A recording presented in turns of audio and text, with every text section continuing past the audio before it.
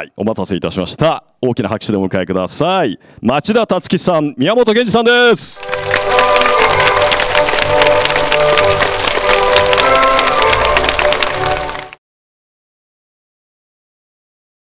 まず何といってもジョン・カリーというスケーターの身体の美しさですよね。身体の美しさ。そうですね。彼はあの映画でも描かれてたかと思うんですけれども、えーとまあ、フィギュアスケーターと同時にバレエダンサーをも志した人なんですよね、ですからフィギュアスケーターとバレエダンサーデュアルキャリアを歩んだものにしか体現できない美を彼はあの氷の上で体現していたというのがすごくこの映画から伝わってきたと思います。なるほど。はい、もうあのフィギュアスケーターつまりスケート靴を履いた人間が美しく映える身体のフォルムっていうのをもう熟知している人だと思います。ああなるほどね。踏む踏むっていう感じです。はい、えーじゃあ宮本さん、えーハードル高くなりましたけど。感想をまずはい。あのまずスケート自体の美しさ、うん。あの力を入れずにスーッと滑るところが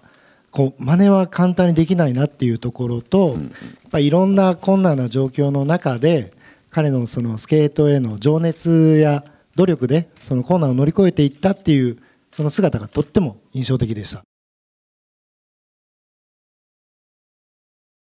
実は私ジュニアグランプリ、まあ、ジュニア時代の時のあのグランプリシリーズなんですけれどもそれで初めて優勝した大会がイギリスのシェフィールドという町で開催されたジョン・カリー・メモリアルっていう大会だったんですよね。あそうなんですジュニアグランプリで唯一優勝できた大会がそこで私とジョン・カリーの縁はそこから始まるわけです。あらだいぶ長い歴史ありますね、そうなんですよ。あそうですか、へーえじゃあその時ジョン・カリーの名前を冠した大会で優勝した、はい。でそこから十数年そうですね。その後ですね私がこうエデンの東とか火の鳥を踊踊ったんですがそれを振り付けたあのフィリップ・ミルズ先生という振付師がですねあの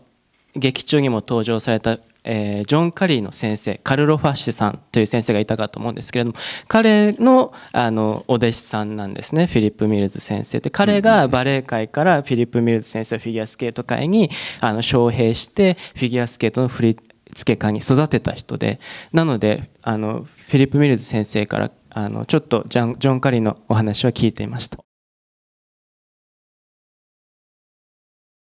あのジョン・カリーの伝記を読んでるとですね、うんはい。この「ドン・キホーテ」というこのオリンピックインスブルック五輪で金メダルを獲得したあのドン・キホーテという作品なんですけれども、はい。はい。もちろんオリンピックの舞台でもノーミスで、まあ、ゴールドメダルを獲得したんですが伝記によるとその前の練習1ヶ月間ずっとノーミスだったそうです。お一回もミスをせずに練習ですよ。普段の練習からミスをせずに本当に完璧なままあの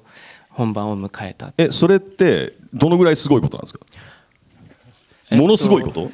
ものものすいやあるあるあるはあるけどじゃあ僕が、えっと私がですねじゃあ例えば2014年の世界選手権大会、はいはい見事。あのはい銀メダル。銀メダルだったんですが、あのシーズンに、えーフリープログラム1ヶ月間ノーミスしろって言われたら多分あのー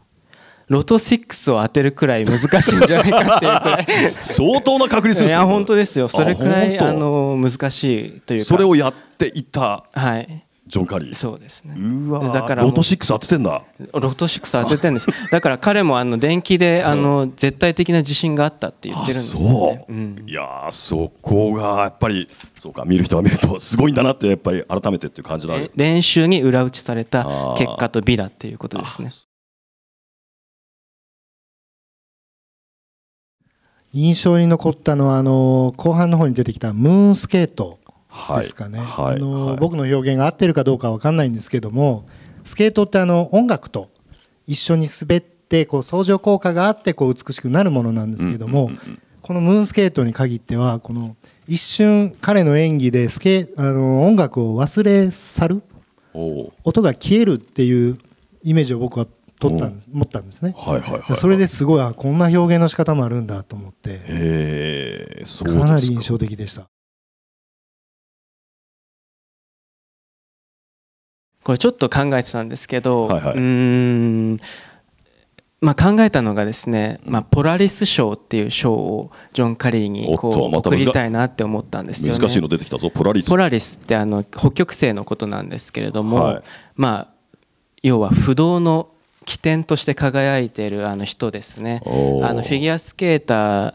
誰もがあの目標とすべき指標だと思います。あのよく文学作品とか芸術の分野では偉大なる作品をキャノンっていう呼び方をしますけれどもまさにジョン・カリーのあの生み出した作品はキャノンと言えるかと思います。なるほど。もうという意味でポラリス賞です。もうみんなが目指すべき不動の一点そうです、みたいな。ま、目指す。目指すべきでだし学ぶべき作品だと思います